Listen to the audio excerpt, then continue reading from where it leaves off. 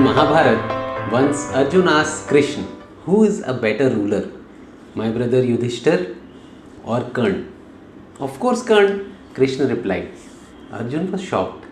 How is that possible? Yudhishthir was called Dharmraj, which means king of righteousness. Krishna said, Let us test this. So both of them disguised as Brahmins, holy men, and they reached the court of Yudhishthir. It was raining very heavily and they were welcomed very warmly.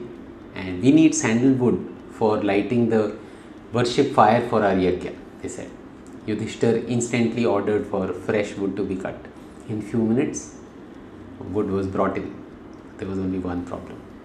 It was wet and thus of no use.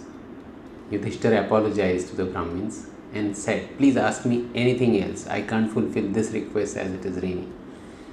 The two Brahmins left the court and this time they reached the court of Karna. It was still raining and they made the same request. Karna was also about to order for the wood, but then he paused. It is raining outside and this wet wood won't be useful to you. So give me a few minutes, he said, and he went inside his palace, located a sandalwood door. He ordered that door to be taken down, cut into pieces. The dry sandalwood was handed over to the Brahmins and Krishna was now smiling at Arjun.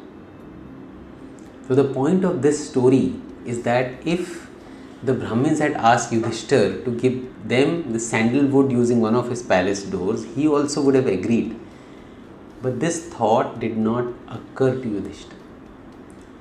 So, in, in our team, you will find two types of people task focused like Yudhishthir or result focused like Karna. Then, as a leader, we need to train our team to focus on results instead of tasks. And final question is for you.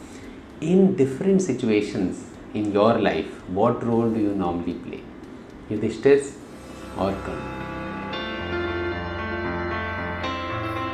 Like, share, and subscribe to my channel.